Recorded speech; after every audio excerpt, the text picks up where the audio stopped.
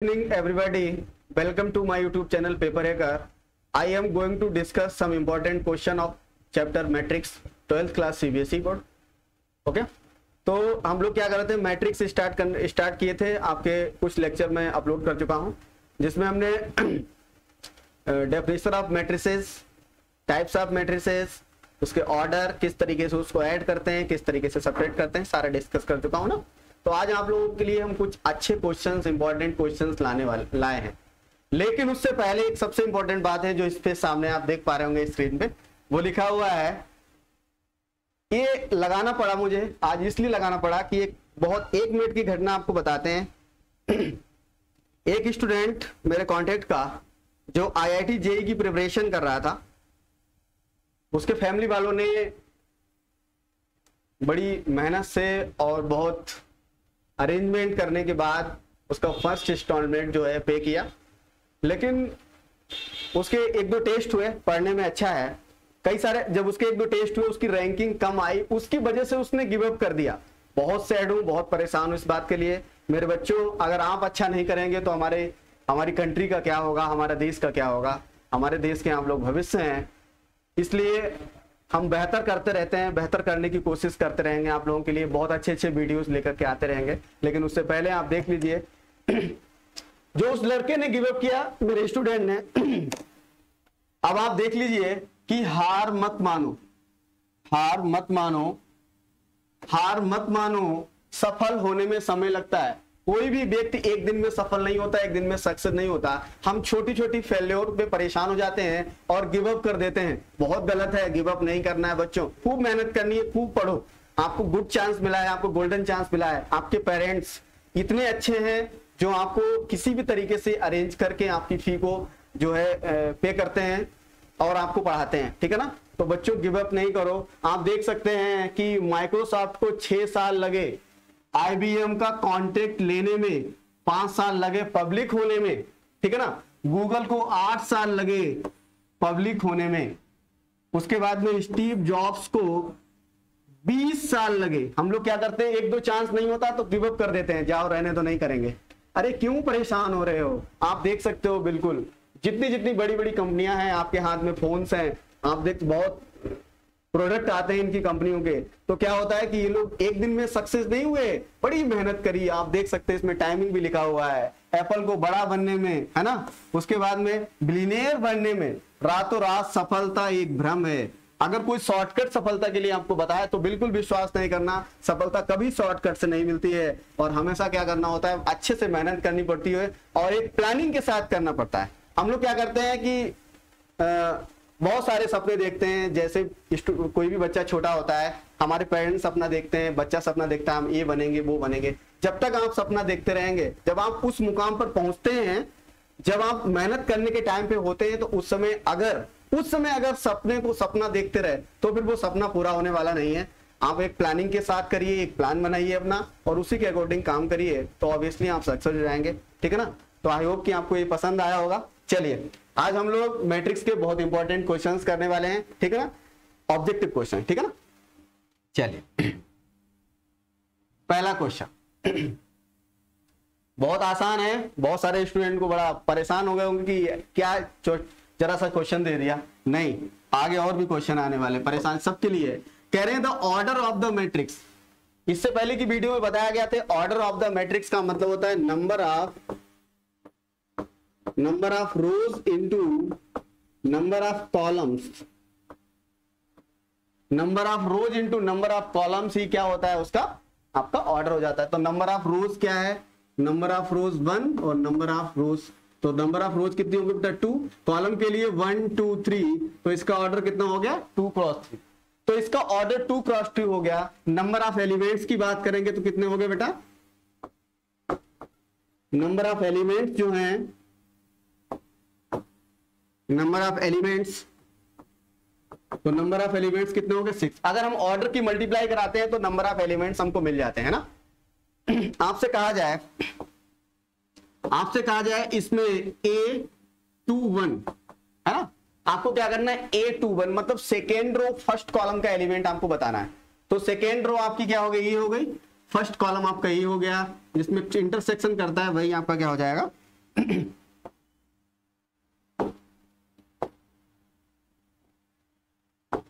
जो इंटरसेक्शन करेगा, वही एलिमेंट हो जाएगा। तो आपका क्या आ जाएगा? तो इसमें बहुत सारे एलिमेंट्स आप इस तरीके से बता सकते हैं। ठीक है ना? आई होप कि आपके समझ में आया होगा। चलिए नेक्स्ट क्वेश्चन है। नेक्स्ट क्वेश्चन आपसे कहा गया। इन्होंने बोला, एक मिनट बच्चों।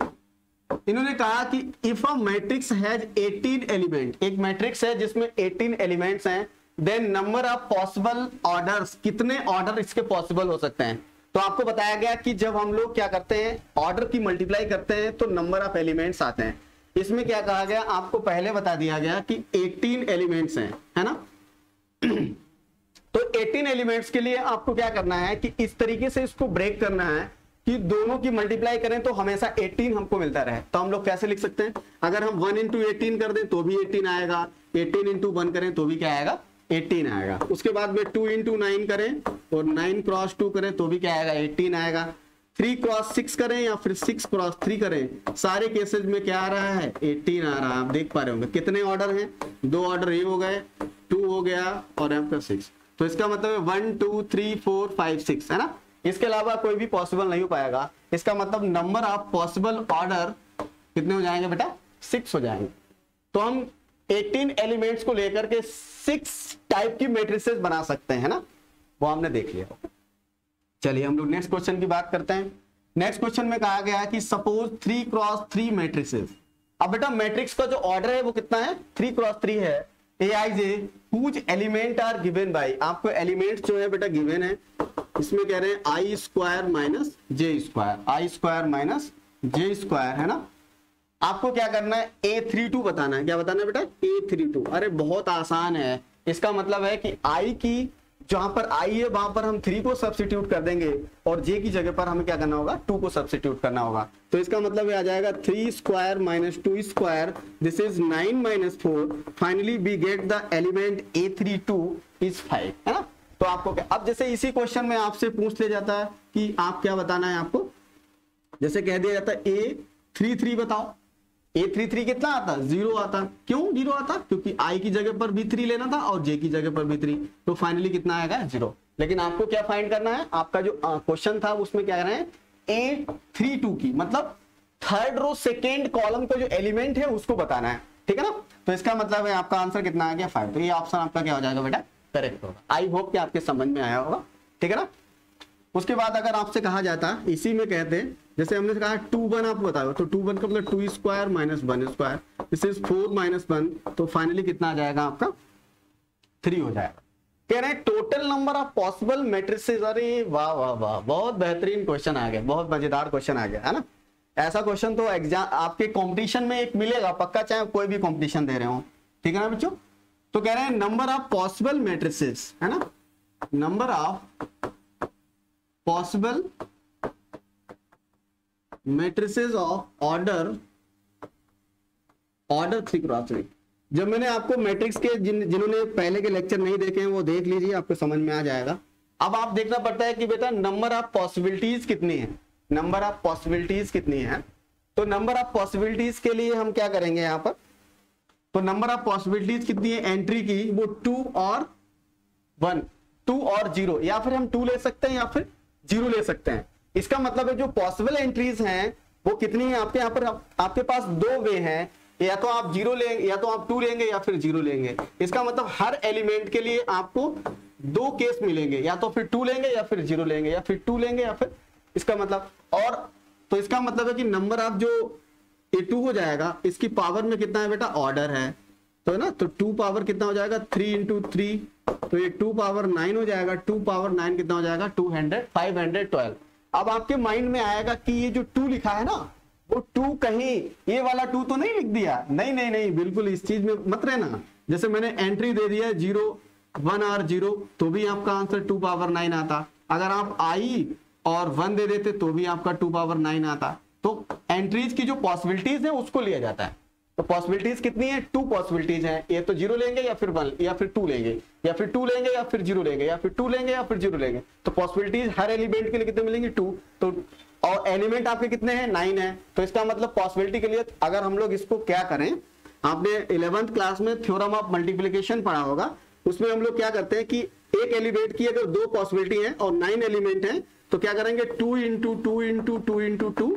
हम लोग क्या करते हैं? उसकी मल्टीप्लाई करते चले जाते हैं ना? One two three four five six seven और यहाँ आपका टू इंटू टू तो फाइनली आपका आ जाएगा टू पावर तो इसमें जो हम लोग यूज़ करते हैं, वो मल्टीप्लीकेशन थ्योरम करते हैं। लेकिन बहुत सारे स्टूडेंट जो है, जिन्होंने इलेवंथ क्लास में सही से नहीं पढ़ा है तो उनको प्रॉब्लम आएगी। इसके लिए हम लोग क्या करेंगे? ऐसा मेथड आपको बता दिया कि आप हर क्वेश्चन को सॉल्व कर सकते हैं। अब जैसे उसमें कह देते हैं, अब इसी क्वेश्चन को थोड़ा सा चेंज कर दिया जाए।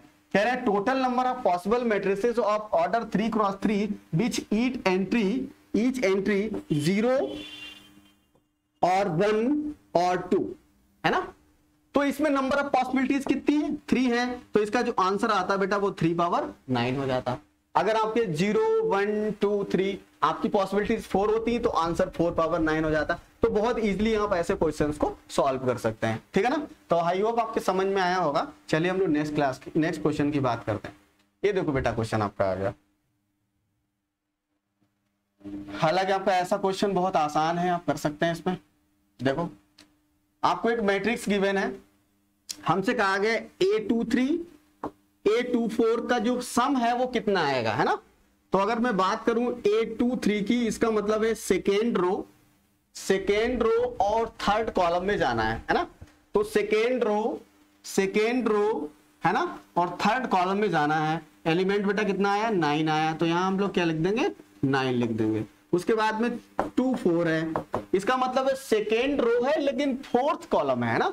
तो फोर्थ कॉलम के लिए ये हो गया तो इंटरसेक्शन पे सिक्स आ गया। तो ये सिक्स इनका हमें प्लस चाहिए तो इसका प्लस कितना आ जाएगा? फिफ्टीन तो इसका आंसर बेटा कितना आ जाएगा? फिफ्टीन हो जाएगा। तो बहुत ही आसानी से आप दे सकते अब देखो क्या कह रहे हैं, लेकिन क्वेश्चन में ही नहीं। कह रहे हैं will be equal to the element कौन से एलिमेंट के इक्वल है? तो आप देख सकते हैं, इसमें 15 कौन सी पोजीशन पे है? तो बेटा 15 कौन सी पोजीशन पे है? ये थर्ड रो है और सेकेंड कॉलम है।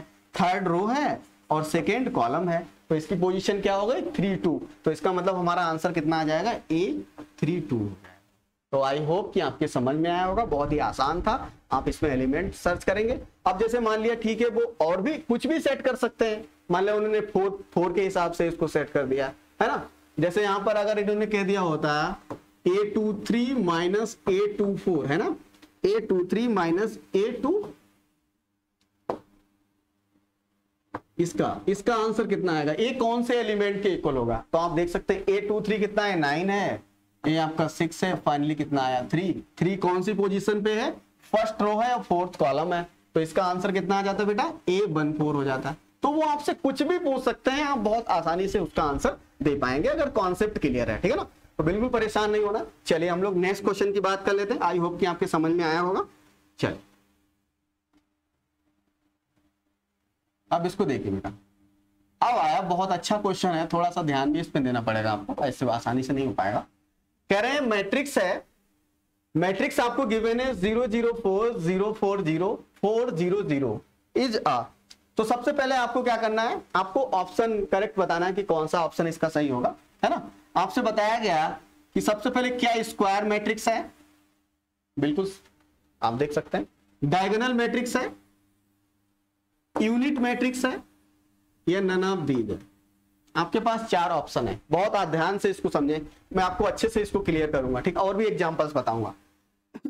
हम लोग स्क्वायर मैट्रिक्स की बात थोड़ी देर के लिए इस, इसके बारे में अभी हम लोग इसकी बात सोचेंगे, ठीक है ना? तो इसके बारे में थोड़ा सा रोक दीजिए।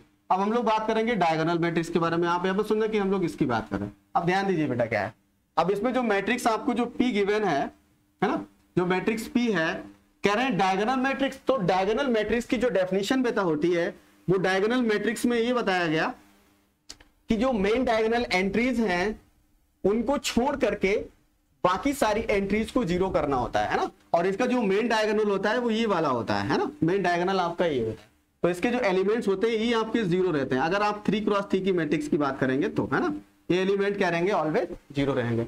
अब आप देख पा रहे होंगे बेटा, इसमें ये ज़ीरो है ही नहीं, है ना? और अगर इसमें मेन डायगोनल की बात करें तो मेन डायगोनल की तो कोई दिक्कत नहीं है है ना? इसमें ये ज़ीरो नहीं है। अगर ये दोनों ज़ीरो होते, तब तो ये डायगोनल मैट्रिक्स हो जाती। तो इसका मतलब डायगोनल मैट्रिक्स नहीं है।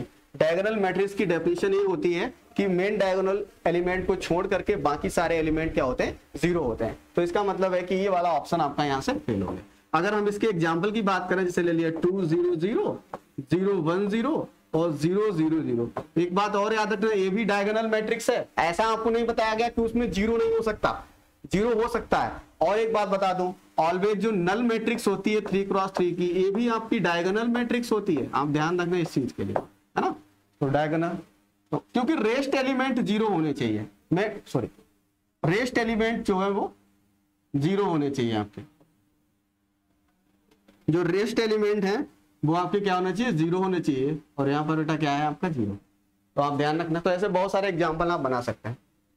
अब हम लोग आते हैं यूनिट मैट्रिक्स पे। तो यूनिट मैट्रिक्स में बताया गया कि जो आपके मेन डायगोनल एंट्रीज हैं, वो यूनिट होना चाहिए। और बाकी सारे के सारे एलिमेंट क्या होने चाहिए? ज़ीरो लेकिन ये सारी सारी कंडीशन स्क्वायर मैट्रिक्स पे होती है। मेरी बात ध्यान से देना, है ना? तो अगर मैं इसकी बात करूँ तो इसमें जो मेन डायगोनल एंट्रीज हैं, इसमें क्या होना चाहिए? वन वन वन बाकी सारे के सारे एलिमेंट क्या होने चाहिए?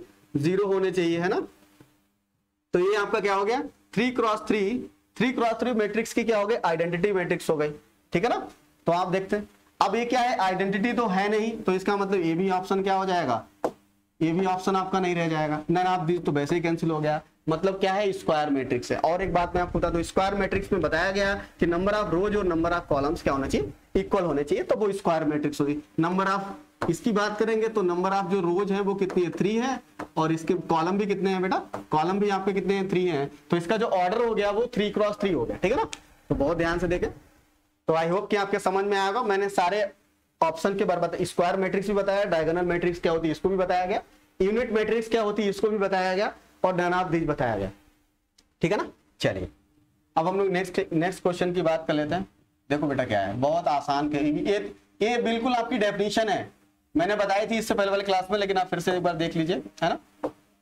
देखो, हमसे बताया गया कि two matrices two A I J B equal to B I J are set to be equal हम दो मैट्रिक्स को इक्वल मैट्रिक्स तब कहते हैं, मैंने दो केस बताए थे कि आपके इसमें दो कंडीशन थी। सबसे पहले दोनों का ऑर्डर जो है वो बेटा सेम होना चाहिए, और उसके बाद में दूसरा मैंने बताया था कि करस्पॉन्डिंग एलिमेंट करस्पॉन्डिंग एलिमेंट्स भी सेम, है ना? भी इक्वल, है ना?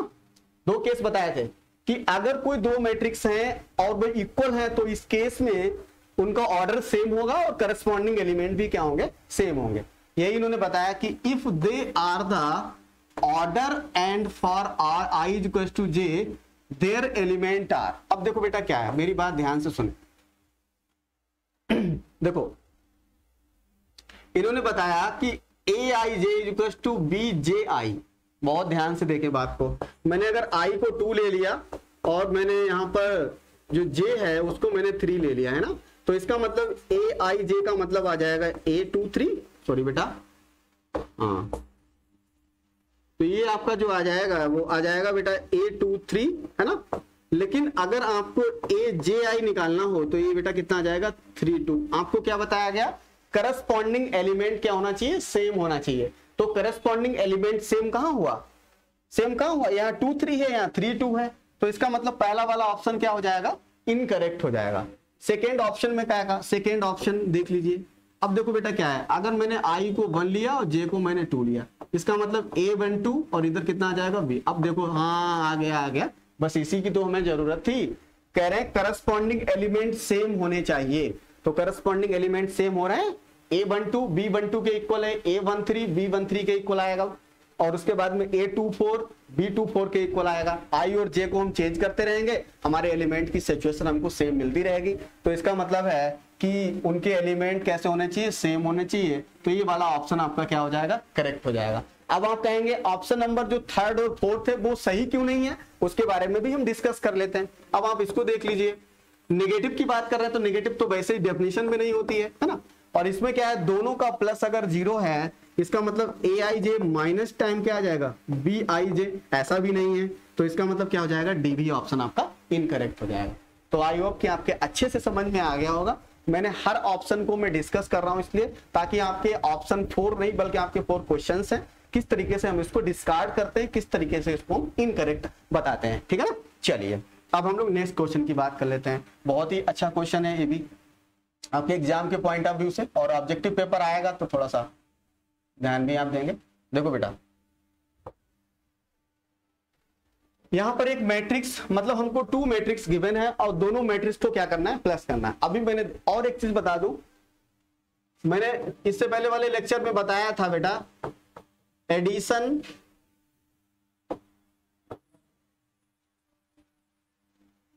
है ना? मैट्रिक्स को ऐड किया जाए मतलब उनका एडिशन किया जाए या फिर उनका सब्ट्रैक्शन किया जाए, है ना? इनके लिए जो कंडीशन होती है, पहला, दोनों के लिए ऑर्डर जो है वो सेम होना चाहिए। और जो सेकेंड है सेकेंड है, सेकेंड कुछ नहीं है। ऑर्डर क्या होना चाहिए? सेम होना चाहिए। एक ही कंडीशन है। ऑर्डर अगर सेम है, ऑर्डर सेम है तो उन मैट्रिक्स को हम लोग प्लस भी कर सकते हैं और माइनस भी कर सकते हैं। हम आपको एक चीज़ और है, हम मल्टीप्लीकेशन के बारे में नहीं कह रहे हैं, हम सिर्फ़ एडिशन और सब्ट्रैक्शन की बात कर रहे हैं। तो बहुत ही आसान क्वेश्चन है। इसका बेटा ऑर्डर कितना है, आप देख पा रहे होंगे। इसका जो ऑर्डर है वो टू क्रॉस थ्री है। टू क्रॉस थ्री ऑर्डर क्यों है? क्योंकि इसमें नंबर ऑफ़ रोज कितनी है? टू है। नंबर ऑफ़ रोज टू कैसे हैं? इसके बारे में भी मैंने आपको बताया। आप देखें इस तरीके से हम लोग क्या करेंगे? लाइन को ड्रॉ करेंगे। तो लाइन में देखा तो अरेंजमेंट जो है वो दो लाइन में ही अरेंजमेंट है। इसका मतलब नंबर ऑफ़ रोज कितनी हो गई टू हो गई कॉलम में थ्री लाइन्स आएँगी, है ना? तो इसका मतलब क्या हो गया? टू क्रॉस थ्री इसका भी ऑर्डर कितना है? टू क्रॉस थ्री दोनों का ऑर्डर सेम है। जब दोनों का ऑर्डर सेम है तो हम मैट्रिक्स को क्या कर सकते हैं? प्लस कर सकते हैं। प्लस कैसे किया जाता है? उनके करस्पॉन्डिंग एलिमेंट को लिया जाता है। इसमें करस्पॉन्डिंग एलिमेंट कितना है? रूट थ्री इसका एलिमेंट कितना है? टू है। तो हमारा आंसर जो आएगा, वो ये कितना जाएगा? रूट थ्री प्लस टू आ जाएगा, है ना? उसके बाद हम लोग इस पे आते हैं। ए एलिमेंट बेटा कितना है आपका? वन है। यहाँ पर एलिमेंट क्या है? फाइव है। रूट फाइव है। तो इसको लिखेंगे one plus under root five हो जाएगा ओके उसके बाद यहाँ माइनस वन है, ये वन है। माइनस वन और प्लस वन क्या आ जाएगा? ज़ीरो हो जाएगा। माइनस वन प्लस वन क्या हो जाएगा? ज़ीरो अब आप देख पा रहे होंगे, इसका जो एलिमेंट है इसकी पोजीशन क्या है? टू वन है। इसमें क्या है? बी टू वन है। दोनों को क्या करना है? प्लस करना। तो ये टू है, ये माइनस टू है। दोनों को प्लस करेंगे तो आंसर क्या आएगा? ज़ीरो आएगा। है ना? उसके बाद यहाँ क्या है? थ्री और थ्री है। थ्री और थ्री कितना हो जाएगा? सिक्स हो जाएगा। और ज़ीरो और प्लस वन बाई टू तो ज़ीरो में अगर वन बाई टू प्लस करेंगे तो आंसर कितना आएगा? वन बाई टू बहुत आसान है। लेकिन ऐसा कुछ नहीं है कि यही क्वेश्चन आपके एग्ज़ाम में मिलेगा। अब मान लिया, इसमें उन्होंने कह दिया कि भैया ए माइनस बी बताओ कितना आएगा। तब आप क्या करोगे? मान लो क्वेश्चन यही है। ऑप्शन अपने हिसाब से वो सेट कर देंगे। या उन्होंने कह दिया टू ए माइनस बी कैसे हम फाइंड करेंगे? या उन्होंने कह दिया कि one by two A into plus B हम कैसे फाइंड करेंगे? तो देर आर मेनी क्वेश्चन है ना? हम लोग क्या कर सकते हैं? बहुत सारे क्वेश्चन इस तरीके से फ्रेम हो सकते हैं। तो ध्यान रखेंगे कॉन्सेप्ट क्लियर रखें।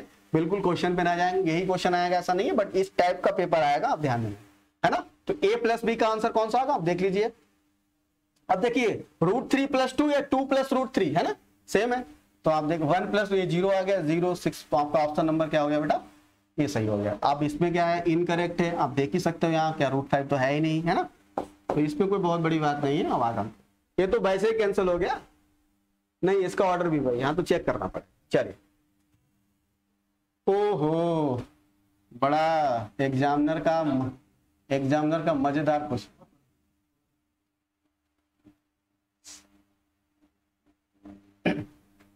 चलिए। इसमें कह रहे हैं द वैल्यू ऑफ़ हमने आपको बताया था कि अगर किसी भी मैट्रिक्स में किसी भी नंबर की मल्टीप्लाई करें, किसी भी एलिमेंट की मल्टीप्लाई करें तो सारे एलिमेंट के साथ ऐसा होता है। सभी सभी एलिमेंट में, जैसे एग्जांपल हमने यहाँ पर लिख दिया, जैसे लिख दिया मैंने टू फोर वन टू है ना? आपको निकालना है फाइव ए तो फाइव ये आपका टू फोर वन टू है ना? तो यहाँ से आप देखते ये आ जाएगा five into two five into four timing देख लेना।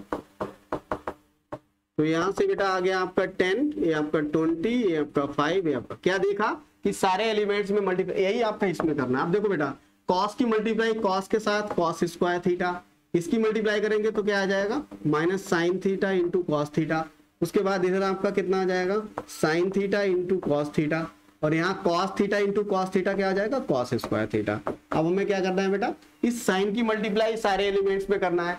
तो साइन इंटू साइन आपका क्या आ जाएगा? साइन स्क्वायर थीटा इधर आप देख पा रहे होंगे sine theta into cos theta sine theta into minus को तो माइनस को पहले लिख दिया मैंने। Sine theta into cos theta sine theta into sine theta बेटा क्या आ जाएगा? साइन स्क्वायर थीटा दोनों का ऑर्डर सेम है। हम लोग इसके करस्पॉन्डिंग एलिमेंट को प्लस करेंगे। भैया, करके देख लो corresponding element cos square theta plus sine square theta क्या होता है? वन होता है, आपको पता है। लेकिन मैं फिर भी एक बार लिख दे रहा हूँ। आपकी अब आप देख पा रहे होंगे minus sine theta into cos theta plus sine theta into cos theta answer क्या आ जाएगा? दोनों को प्लस करेंगे तो ज़ीरो हो जाएगा। फिर sine theta into cos theta minus sine theta into cos theta दोनों को प्लस करेंगे। क्योंकि क्या है माइनस है तो प्लस माइनस माइनस हो जाएगा। तो आपका आंसर क्या आ जाएगा? ज़ीरो हो जाएगा। इधर cos square theta plus sine square theta की वैल्यू क्या है? वन है। और आप कहेंगे, फिर इसको वन का है? नहीं लिखा। तो भैया ठीक है, हम इसको भी वन लिखे दे रहे हैं। तो इसका मतलब है आपकी मैट्रिक्स क्या है? One zero zero one. अरे, बड़े परेशान नहीं होना है। One zero zero one main diagonal entries क्या है? यूनिटी है रेस्ट ऑफ़ एलिमेंट क्या है? ज़ीरो है। इट मीन की क्या हो गई आपकी?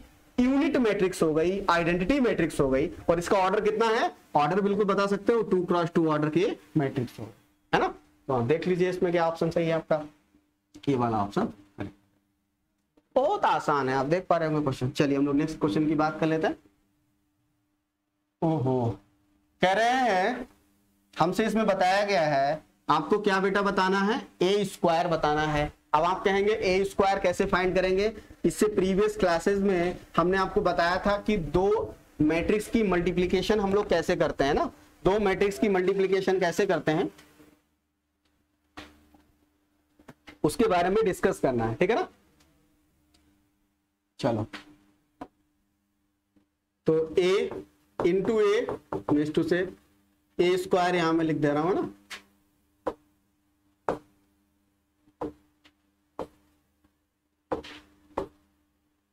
चले अब मेरे बहुत ध्यान से देखे क्या है? One zero zero zero one zero A B minus one, है ना?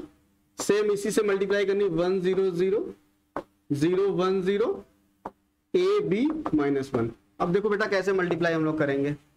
ध्यान से देखें। क्या होता है? फ़र्स्ट रो फ़र्स्ट कॉलम है ना? First row first row first column की मल्टीप्लाई करते हैं। तो क्या आ जाएगा? One into one plus zero into zero फिर आ जाएगा ज़ीरो इंटू ए फिर फ़र्स्ट रो सेकेंड कॉलम है ना? फ़र्स्ट रो सेकेंड कॉलम आ जाएगा। तो one into zero zero into one और इधर आपका ज़ीरो इंटू बी आ जाएगा। फिर क्या बेटा लेना है? फ़र्स्ट रो थर्ड कॉलम लेना है। तो फ़र्स्ट रो थर्ड कॉलम के लिए one into zero plus zero into zero और प्लस ज़ीरो इंटू क्या आ जाएगा? माइनस वन हो जाएगा, है ना? ये होगा स्टॉप कर देंगे। क्यों स्टॉप कर देंगे? क्योंकि तो तीन ही आपके क्या है? कॉलम है। अब इसी तरीके से second row first column second row second column second row third column है ना? तो हम लोग क्या करेंगे? ये बेटा आपका जाएगा zero into one plus one into zero plus zero into A है ना? यहाँ से आपका जाएगा zero into zero into zero one into one into one है ना? और यहाँ से आपका जाएगा, अगर आप इसकी बात करेंगे ज़ीरो इंटू बी हो जाएगा ना? ज़ीरो इंटू बी हो गया। उसके बाद में बात करेंगे zero into zero zero into zero one into zero, और उसके बाद में आपका जाएगा ज़ीरो इंटू माइनस वन। है ना? ये हो गया। थर्ड की बात कर लेते हैं। थर्ड में क्या जाएगा? A into A into one plus B into zero, और बेटा ये माइनस वन इंटू क्या जाएगा? ए हो जाएगा। इधर आप बात करेंगे तो A into zero plus B into one, है ना? उसके बाद में इधर आपका आ जाएगा माइनस। ये बेटा माइनस वन है थोड़ा सा। ये माइनस वन है ना? तो यहाँ से माइनस वन इंटू क्या आ जाएगा? बी आ जाएगा। उसके बाद हम लोग बात करेंगे A into zero plus B into zero minus one into क्या आ जाएगा? माइनस वन हो जाएगा, है ना? अब इसकी बात। बस हो गया। आपने इतनी मल्टीप्लाई कर ली, अब तो हो ही जाएगा, अब तो कोई प्रॉब्लम नहीं। देखो कैसे आएगा बेटा। वन इंटू वन वन हो गया ज़ीरो इंटू ज़ीरो तो आपका फाइनली क्या आ जाएगा? ये वन हो जाएगा, है ना? उसके बाद में one into zero zero zero into one zero हो जाएगा। ये टोटल क्या जाएगा? ज़ीरो हो जाएगा। इधर भी आपका टोटल क्या आ जाएगा बेटा? ज़ीरो हो जाएगा। मल्टीप्लाई तो आती ही होगी आई होप ट्वेल्थ क्लास के स्टूडेंट हो तो। ये भी टोटल क्या आ जाएगा? ज़ीरो हो जाएगा। इधर भी आपका ये क्या जाएगा? वन आ जाएगा। इधर आपका कितना आ जाएगा बेटा? ज़ीरो हो जाएगा। ये आपका आ जाएगा ए ए है ना? उसके बाद में बी इंटू बी क्या आ जाएगा आपका? बी स्क्वायर हो जाएगा। ये बेटा क्या है? ज़ीरो है ना यहाँ पे? तो ये क्या जाएगा? ज़ीरो हो जाएगा। अब यहाँ कितना है आपका? माइनस से उसके बाद में इधर आपका कितना है? ये आपका बेटा बी माइनस बी है। बी माइनस बी है। इधर आपका कितना हो जाएगा? प्लस वन आ जाएगा, है ना? अब ध्यान से आप देख लीजिए। One zero zero zero one zero zero zero one है ना? तो क्या हो गए आपकी आइडेंटिटी मैट्रिक्स आ गए। तो आइडेंटिटी मैट्रिक्स हो गए तो ये वाला ऑप्शन आपका क्या हो जाएगा? ये आपका आई है। ध्यान रखना, है ना? आई है। आइडेंटिटी मैट्रिक्स है। ठीक है ना? तो आई हो, आपके समझ में आया होगा अच्छे से? क्या होगा? ना कितना होगा? बिल्कुल आहा, आ गया क्वेश्चन बेटा। क्या करना है? अब ये जो क्वेश्चन है, आज हम इसको सॉल्व नहीं कराने वाले हैं। जो भी हमारे वीडियो को देख रहे हैं, इस क्वेश्चन को वो खुद से सॉल्व करेंगे। हाँ रुक जाओ यही पर रुक जाओ। है ना? अब हम लोग क्या करेंगे? ये जो क्वेश्चन आपको दिया गया है, इस क्वेश्चन को आप खुद से सॉल्व करेंगे। ठीक है, आपको वैल्यूज़ फाइंड करनी है, इसमें के की वैल्यू बतानी है। कह रहे हैं इफ़ ए एंड आई आई आपको नहीं देता तो भी आप टू क्रॉस टू की आइडेंटिटी मैट्रिक्स के बारे में जानते हैं, है ना? Then the value of the K show that A square is equal to आपको इसमें दिया गया है A square is equal to eight A plus K time I है ना? तो आप क्या करेंगे इसको? इसमें ए ए स्क्वायर फाइंड करेंगे ए की वैल्यू और आपको इसको सॉल्व करना है, ठीक है ना? तो यहाँ से आपका क्या हो जाएगा? के की वैल्यू आप बहुत आसानी से निकाल सकते हैं, ठीक है ना? और एक एक बहुत थोड़ा सा बिल्कुल जो है, ये वीडियो आपके लिए बहुत बेनिफिशियल होने वाली है। और हम लोग क्या करेंगे, अब जो भी स्टूडेंट जो भी स्टूडेंट आईआईटी आईआईटी जेई या फिर एनडीए है ना? या फिर बीएचयू या फिर डीयू है ना? किसी की भी प्रिपरेशन करना चाहते हैं, है ना? उनके लिए बहुत बेनिफिशियल वीडियोस आने वाली हैं। है ना? किस तरीके से हम लोग क्वेश्चन को शॉर्टकट टाइप से करेंगे? और आपको शॉर्ट टिक्स बताई जाएँगी। बहुत अच्छे अच्छे क्वेश्चंस आपको कराए जाएँगे। जो आईआईटी जेई में आए हुए हैं, उनको बताया जाएगा। है ना? तो हम लोग क्या करेंगे? टॉपिक वाइज डिस्कस करने वाले हैं। हम लोग टॉपिक वाइज डिस्कस करने वाले हैं और आपको बहुत सारे क्वेश्चंस भी बताए जाएँगे। ठीक है ना? तो आप हमारे साथ इसी तरीके से जुड़े रहिए। आपको बहुत कुछ मिलने वाला है और हमारी बहुत प्लानिंग है कि आपको बहुत बेहतर प्रोवाइड कराया जाएगा। ठीक है ना? तो आई होप कि आज का क्लास आपके समझ में आया होगा। आप बहुत क्लास को देख करके इसी तरीके से आप हमारी क्लास को देखते रहिए और उसका लाभ लेते रहिए। आपको बहुत फ़ायदा होगा। आप और इसके ऑब्जेक्टिव क्वेश्चन हम लोग लेकर के आएँगे। और इसके और भी जो टॉपिक्स बचे हुए हैं, जैसे किसी भी मैट्रिक्स का ट्रांसपोज कैसे निकालते हैं, है ना? ट्रांसपोज के बेसिस पे क्या क्या प्रॉपर्टीज़ बन सकती हैं, वो आपको बताया जाएगा। किसी भी स्क्वायर मैट्रिक्स को हम लोग जो है कि, किस तरीके से हम लोग ब्रेक कर सकते हैं। आपको बताया जाएगा कि सिमेट्रिक और स्क्यू सिमेट्रिक मैट्रिक्स कब हो जाती है है ना? तो ऐसी बहुत सारी प्रॉपर्टीज़ और बहुत सारे टॉपिक्स आपको बताए जाएँगे। बहुत ही इंटरेस्टिंग ठीक है? तो थैंक यू हमारे साथ जुड़े रहिए। वीडियो अच्छी लगती है तो लाइक करिए शेयर करिए अपने दोस्तों में है ना? दोस्तों और bye bye take care have a nice